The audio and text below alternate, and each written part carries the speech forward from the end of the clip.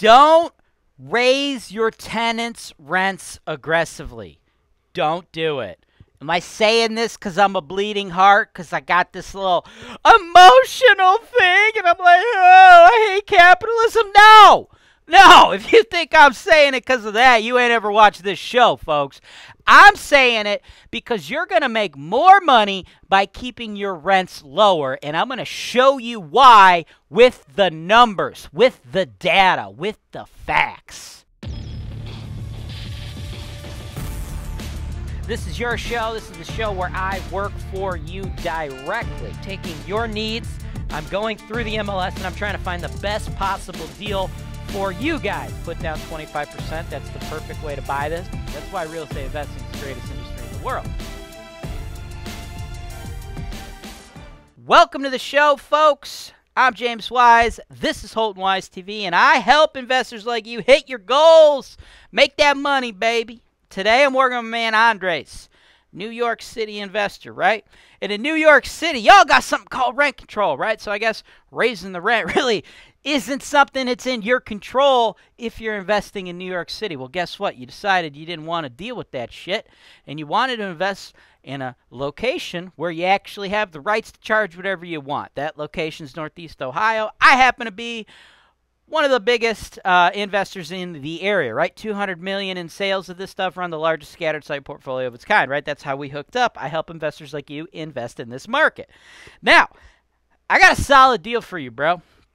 I like this deal. I think this deal works quite a bit. As a matter of fact, I think it's a great deal at list price, which is 115 grand. But I'm going to try to take the fact that the seller has been renting it to his tenants for way less than market rent. I'm going to try to take that fact and I'm going to try to muscle a $15,000 discount out of that seller for you.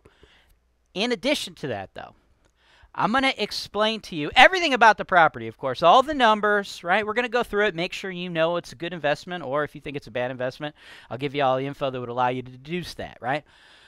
But what I'm also going to do is show you why I think it makes sense for us from a bottom line standpoint, from a return on investment standpoint, why I think it makes sense for us not to immediately go in and raise those tenants' rents up to market rent. Now, do I think it makes sense to keep rents super low like this forever? No. As a matter of fact, I think the seller made a mistake by doing it, and I'm going to try to again muscle $15,000 out of him on your behalf. But I still want to show you, in my opinion, the smartest way to go about working with tenants who have below market rent, right? Nothing to do with emotion. It's all about the bottom line and keeping your ROI as high as humanly possible. Hey, Steve. What are you doing? Oh, nothing. Just saving money on my rental property insurance. Oh, my Steve. Take me now.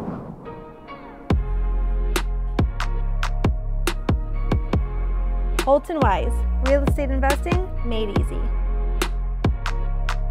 Wow, I'm so glad I clicked that link below.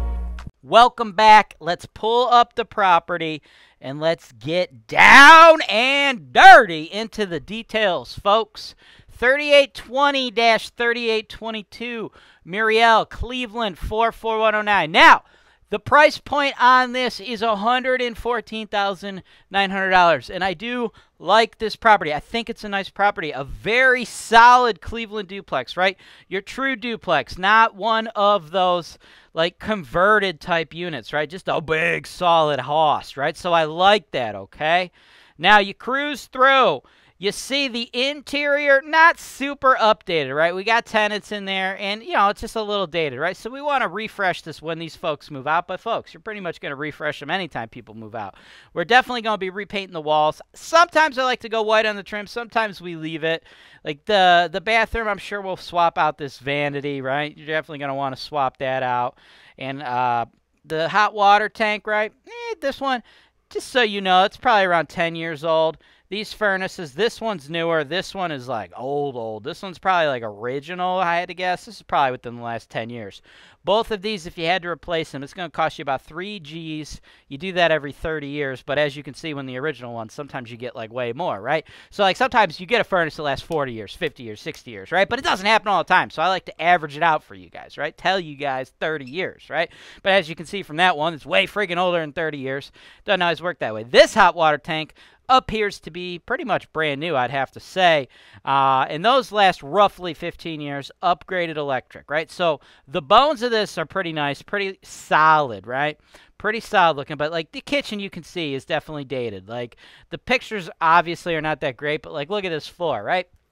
Now, the rest of the unit, as you can tell, had uh, nice hardwoods, right? So refreshing that when these tenants eventually move, that's easy. You're just painting. Maybe we're doing trim, maybe we're not. The kitchen, gonna need to do a little more, right? There's not gonna be those nice hardwoods that you see throughout the rest of the unit under the kitchen, but we'll do a new modern vinyl allure flooring on this kitchen that we would match in the bathroom. But that is not something you necessarily need to worry about right now because you do have two paying tenants in there, and they are paying dramatically lower, right? They're paying 550 and 550. And that, in my opinion, is actually good for us, okay? Here's where we're at. Solid deal. Cleveland's West Side. Like this neighborhood. Blue collar, little working class neighborhood. We got friggin' hundreds of these solid investments, right? They all, uh, like these true traditional Cleveland duplexes, they got the same layout, right? That kitchen, it's in the back, in the middle, it's a dining room. Up front, you got the living room on the other side. It's two bedrooms with a bath in the middle. They even all have that same little, uh, like, built-in shelving system in the dining room that you've seen here. Like I literally have freaking hut man these pictures are so zoomed in i don't know what the agent was doing but like this extends this this thing like extends to the other side of the room and it like matches it but like that's how like uh how like rep I don't even know what the term is. Like that's just like the same type of builder just went in and did like the same friggin' plan like all across the city, right? That's just how similar they all are. So like even though I haven't physically stepped foot in this property, like I feel like I really know the property and they perform very very well, right? So nice, solid property, but the tenants are paying way less. That in my opinion is good, right? Because the price point here, 114,900. I think that would probably be a fine price if they were getting market rent. And market rent 750 a unit, okay? That's 15 hundo a month, 18 G's a year after you factor in your fixed and variable expenses, right? Things like your tenant turnover, things like your capital expenditures, improving the units between tenant turnover, like I talked about doing the new vinyl flooring and stuff, right? You factor that in every year, okay? Like you're keeping these $900 line items you see for repairs, maintenance, vacancy, and non payment capex. You keep that. That's money that goes in your pocket. But I'm having you pretend that you're not receiving it as profit right now because I know eventually when you do those turns I was talking about, you're going to drop a few grand, right? So I don't want you to be masked by this money and thinking your true return is going to be higher because it's really not, right? Because eventually you will pay the piper and spend that money on those things, right? Try to be as upfront as I can when I'm uh, teaching you guys how to do all this jazz, right? So with that said, it clears about eight grand a year in pure profit. Yes, why those tenants are in there, you're making an additional, what is that, like uh, 18, 2100, right? On top of that, right? So that's more like 10 grand, but don't factor that in because eventually we're going to come knocking for that money when it's time to remove those tenants or when they move out on their own and we, you know, upgrade the units, right? So that 8 Gs with the fact that those tenants are not yet at 750, I think that allows us a little negotiating power. And we're going to try to get aggressive on these folks and try to pick this up for you at 100. Doing so, we only got to put down 25. Bank kicks in 75. That'd be about a 17% cash on cash return if we got them existing tenants up to market rate, right? Now, that's the thing. They're at 550, market rate 750. We're going to utilize that, right? To beat up the seller a little bit, try to get the property for cheaper than we probably should. Try to get it for a hundred, right? If you had to pay more than a hundred, I don't think it'd be a bad deal. I think you should probably do it. It's a very nice property. But that said, it gives us a good shot to try to get it for a hundred. And then what we want to do with them tenants, we just go up slowly. You don't want to immediately be like, "Yo, your rent's 750 now, or you got to get out." You don't want to do that legally. Yeah, you can do that. They're month to month. You give them a 30 day notice. You could up it to whatever the hell you want, but you don't really want to do that. Look, I'm not like a bleeding heart. Obviously, if you've watched the show, I think you would know I'm not a bleeding heart. Uh, if you don't yet know that I'm not a bleeding heart, you got to watch more of the show. Now, with that said, my desire to keep them in the unit and let them get cheaper than market rent is not because of their feelings and my feelings, right? It's because of your bottom line.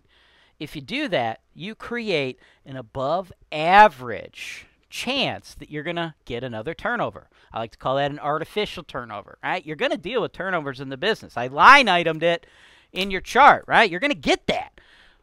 Don't make more of that than is absolutely necessary, right? Those turnovers kill us, right? I told you, 2100 a year for repairs, maintenance, vacancy and non-payment capital expenditures, right? I gave you an NOI of 8037 on average, right? But true money coming in your door is another 2100 above that 8 grand. Well, guess what? If you are creating more turnovers than necessary, right? Your ROI is going down, your true money, your 8 grand is going down. If you're getting less turnovers than average, your freaking ROI is flying through the roof, right? So, instead of getting aggressive trying to get that extra $200 a month out of one of those tenants, go lower so you can keep them in there and you don't got to drop a few grand updating the unit, right? Now, when we get the kitchen and bath fixtures into the 21st century looking super new and fresh, do you got to redo those again over the next like two or three or four or five or six or seven turns? No. But you're probably going to be repainting the unit every time. That's just the nature of the game, right?